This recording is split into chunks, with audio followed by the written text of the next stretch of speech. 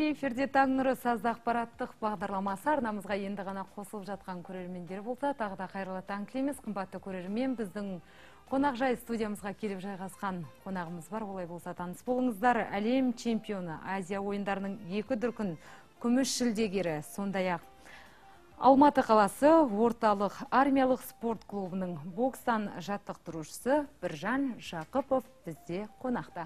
Студиямызға қош келдіңіз аға. Қайырлы таң дейміз. Көңіл күйіңіз қалай? Осыған тоқталайықшы. Ерте оятып қоймадық па сізді? Жоқ, әдеттегідей ойқымыздан ояндық уақытымен қымбатты барша көрермен біржан жақыпқа қояр сұрақтарыңыз болса міндетті түрде хабарласыңыздар біздің байланыс телефонымыз елу үш тоқсан төрт жетпіс екі енді ә, біржан мырза біздің енді осы таңғы бағдарламаға кез келген маман иелері ә, қонақта болып жатады ә, сіздің осы таңғы уақытыңыз немен өтеді осыған бастайықшы әңгімені таңғы уақытта әдеттегідей болгондон кийин таңкы таңғы жаттығумен азында туруп он минут он бес минут көңіл бөлеміз спортқа яғни таңғы денені оятыпсомен айналысасыз таңкы убакытта таңкы жаттығудан бастайсыз одан кийин таңкы аска асқа дегендей го енді біздің спортшыларымыз қазіргі таңда таңғы уақытта қандай тағамдар тұтынады екен? Жасырын болмаса. Спортшы болғаннан кейін бұрында құрамада жүргенде өте құнарлы тамақтарды жеуге тырысамыз. Күні бойы күш қуат беретін.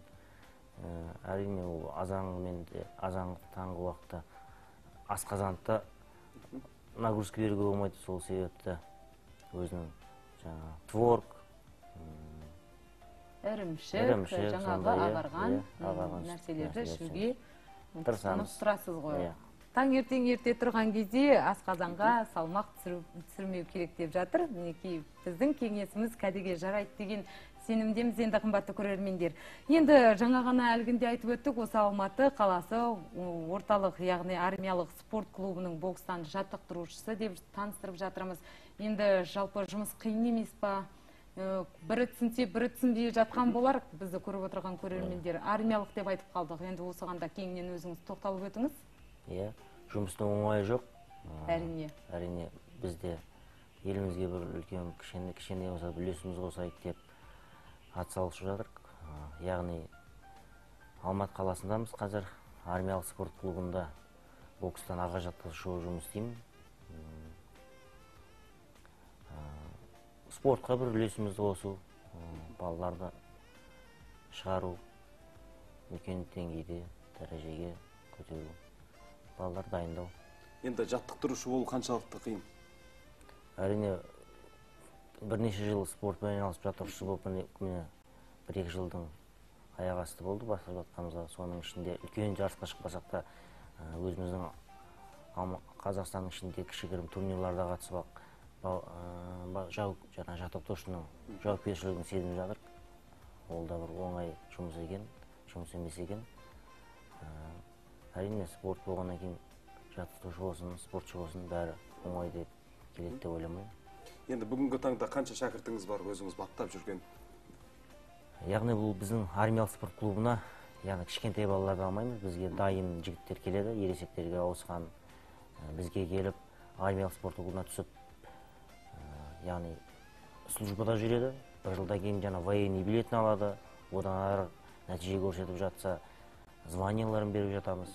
Яғни біздің биыл құрамадан құраманың жартысы біздің армиялық спорт клубтың жігіттері яғни қайрат ералиев әбілхан аманқұл бердәулет ибрагимов асланбек шынбегенов деген жігіттердің құраманың бірінші номерлі жігіттері біздің армиялық спорт клубында тіркеледі. Сол жерден айлық алады жұмыс істейді. Жақсы енді боксер болу үшін табиғи дарын ерекше қабілет керек деп жатады аға. Енді дегенмен сіздің ойыңызды білгіміз келіп отыр. Өзіңіз осы сауалға қалай жауап берер едіңіз? Табиғи боксер болу үшін ерекше қабілет қажет деп жатады. Дарын керек дейді. Әрине бірінші кезекте 99 пайыз ол еңбектің арқасында келеді. Өзім оған толықтай келісемін өйткені өзім басымнан өткен мен спортқа келіп бір аса бір талант болмасақ та еңбектің арқасында талантты шығарып ары қарай шыңдап өстік. Еңбек қой барлық жерде көбінесе. Жүректілік керек қой жүректілік керек иә. Бірінші керекте талап керек. Жігерлі мақсат қою керек. Соған аянбай еңбек ету керек. Оның бәрі жаңағы жігерлікті білдіреді деп ойлаймын.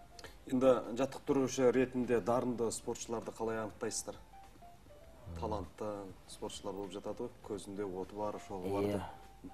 ол баланың көрініп жатады ғой. Жаңағы жарысқа шығарып жатқанда құштарлығына байланысты. Бокс тас әсіл ә- әділ тәсілдерін тез үйреніп алуына байланысты. Жылдамдығына шапшаңдығына байланысты баланың өзі кө- бойынан көрініп тұрады. Енді бұл спорт түріне қанша жастан балаларымыз барған дұрыс негізі? Әрине өзім 10 жастан кейінге қатысса деп өзім не беремін жаңағы. 10 жастан былай қатыса беруге болады боксқа. Өзіңіз қанша жастан бардың өзім сәл кештеу бардым боксқа 14 жасымда. Бірақ оның алдында спорттан алыс болмадым. Жаңағы таэквондо басқа түрлеріне қатысып жүріп яғни боксқа 14 жасымда келдім. Енді жас кезіңізде неге қызығатын едіңіз бокстан басқа? Доп ойнап білмеймін қызығатын әр бала болғаннан кейін әртүрлі бір қыз чемпионды көрсең сол спортқа қызығып кете бересің ғой. Бірақ доп теуіп футболға қатысып жаңағы аяқ көтеріп шпагат отырып таэквондо басқа басқа түрлеріне қызығып келдік. Енді мысалы жарысқа бару үшін болмаса белгілі бір азия чемпиондарына қатысу үшін мысалы спортшылар басқа бір елдерде дайындалып жататын еді. Сіз мысалы сіздің спортшыларыңыз бүгінгі таңда қай жерде жаттығады өзіңіз қай жерге мысалы жарыстың алдында барып жаттығатын едіңіз? Қазір біз шет, елге барып дайындалмаймыз. Өзімізде бокс өте дамыған. Қазақстанның қай қаласына барсаң да боксшылар көп солармен оқу жаттығу жұмысын өткізіп тәжірибе жинаймыз біздің еліміздің өзінде керемет табиғаты Иә, керемет табиғат жерлер өте иә. көп таулы аймақтар дегендей. Сондай жерлерге барып жаңағы жаттығу жасап қатысатын жаңағы жарыстарымызға барып бар, жатасыздар иә. Керемет. Бұл қуантарлық жағдай деп білеміз. Енді алда қандай жаңалықтар бар жоспарлар бар сонымен бөлісіп отырсаңыз. Жоспарлар көп.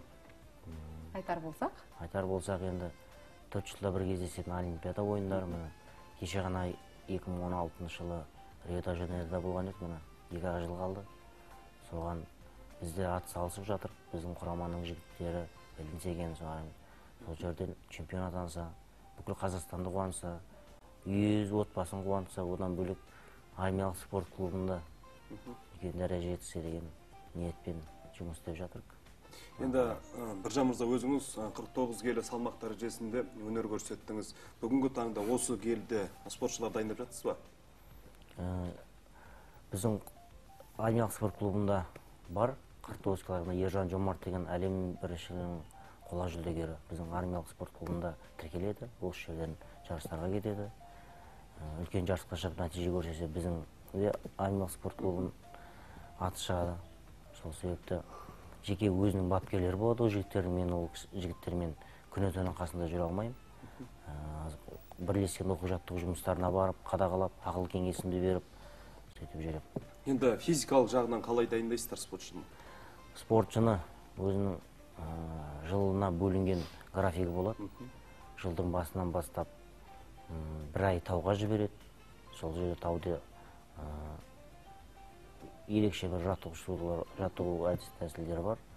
Жаңағы адамның күш қуатын күшейтетін ол жерде. Тас көтеріп тауға қарай жүгіріп үстіне ауыр салмақ киіп алып оны тауда жүргеннен кейін ет көп беріледі бізге. Қымыз айран деген сияқты күш қу- қуат алатын жаттығулар көп. Тағаммен жаттығумен. Енді осы бокс саласына өзіңіз яғни өсуіне өркендеуіне сүбелі үлес қостыңыз. Ә, жалпы айтқан кезде ә, осы 49 келі салмақта дәрежесінде біржан жақып деген атты қалыптастырдыңыз.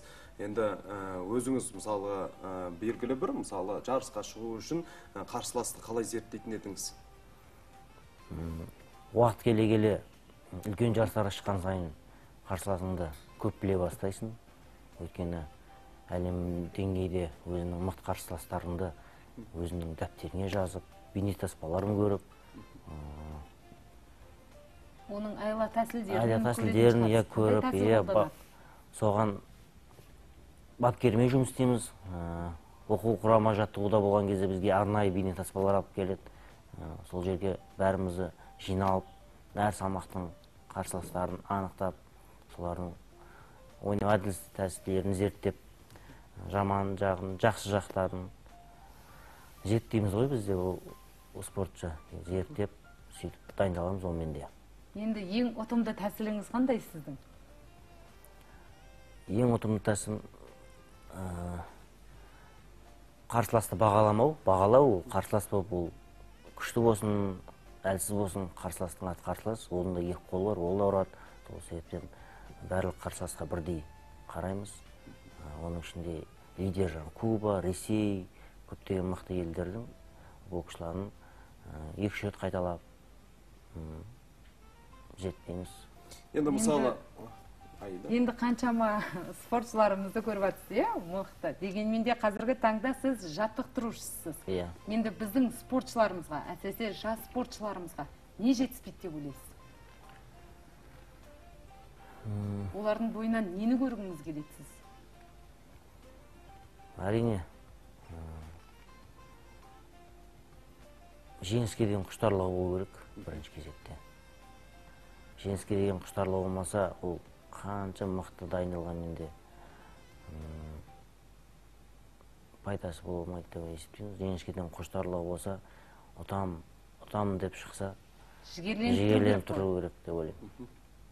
Жақсы. Енді ә, біржан мырза жалпы айтқан кезде ә, қазіргі мысалы ә, спортшылармен айналысып жүрген жастарымызда жетерлік осы бокс саласына әсіресе өздеріңізге еліктеп сіз сияқты болсақ дегенде жасөспірімдерде жетерлік.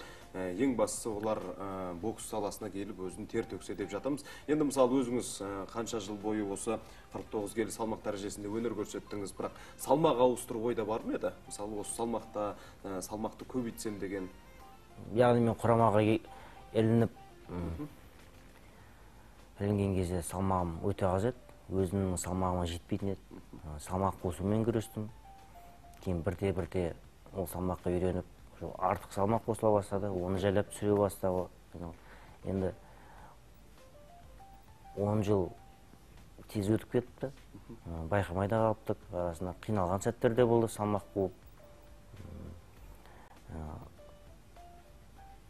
Аса бір қатты бір қиналмайтын болғандықтан салмақ ауыстыру ойда болмапты. Егер қатты қиналып ә, болмайтын жағдай болып жатса салмақ ауыстырып та бокс жасауға болатын еді ол бір салмақта бұл жақсы боксқан боксшы ол басқа салмақта да нәтиже көрсетеді деп ойлаймын. Енді мысалы қазір осы бокс саласында жүрген ә, спортшылар ә, нәтиже көрсететін болса міндетті түрде кәсіпқой боксқа ауысып жататын кездер де болып жатады. Сізде ондай ой болған жоқ па? Әрине болды ондай ойлар. Елдің құраманың бірінші номерлі боксшысы бол- болып тұрғаннан кейін бізде алдағы мақсат тек қана олимпиада болды. Олимпиададан қайтадан біз ұтсамыз ұтсамыз деген мақсат болды. Сол себептен қатты ой мазалаған жоқ ол мені жалпы айтқан кезде ә, осы ә, енді спортшы болу үшін ең бірінші адамға табандылық жігерлік қажет. Иә, әрине. Ә, сол мысалы осы бағындыру керек ең басты арманы болып саналады. Өзіңіз енді кішкентай кезіңізде қандай азамат болдыңыз? Өзіңіз 14 жасыңызда осы спортқа келдім деп жатасыз ғой. Бұл спортқа келмей жатып спортқа қатысып жүргеннің өзінде сәл жылдам шапшаң тез қимылдайтын өз қатарлас иә өз қатарласымнан ә, салмағым жеңіл бойымша да ең кішкентай болсам да сол жылдамдықпен енді бағана спорт ә, мектебінде ә, жалпы күнделікті қанша сағат ә, жаттығумен айналысасыздар?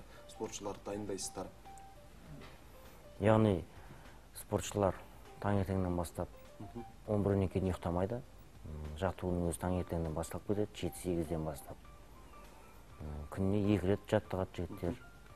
Ә, егер үлкен жарыстың алдында ә, күніне үш рет те дайындық болады. Енді сізге еліктейтін жандарға мысалы ы, күнделікті олар арнайы мектептерге бара алмайтын болса осы спорт мектептеріне қандай жаттығулар жасағанға кеңес бересіз өзіңіз ел ішіндегі талантты жастарды ә, анықтап оларға ә, жа- ә, жаттықтырушы болып ойда жоқ па? Мысалы көптеген жастарымыз бар. Әрине бар.